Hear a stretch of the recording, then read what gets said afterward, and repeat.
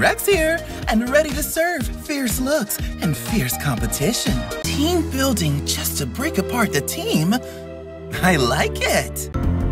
I'm obsessed with Poppy Rowan's butterfly dress. Butterflies represent the circle of life, going from caterpillars to larvae to butterflies. So, I have a twisted idea for a dress. Team 1 is gonna smash this challenge. So I spilled the beads. Cheating is the worst kind of basic. And basic, I'm so glad I have immunity this week. Uh oh.